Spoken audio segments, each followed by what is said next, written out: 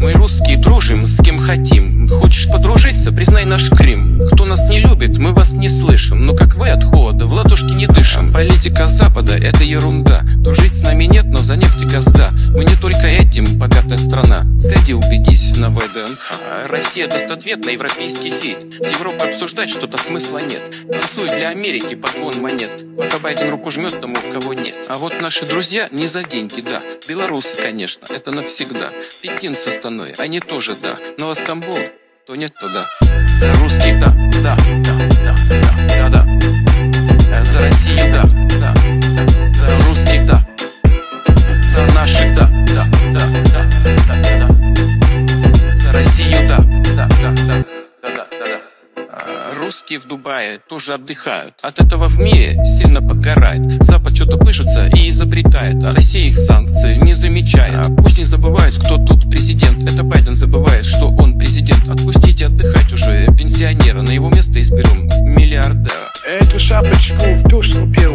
Магните по акции грош купил Таблетки водой из луж запил.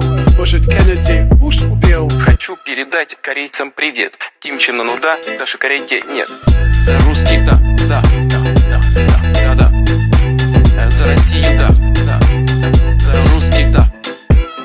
За наших да, да, да, да, да, да. За Россию да, для России, для наших да. За Россию да. Ставь лайки да. За Россию да. Ставь. Репости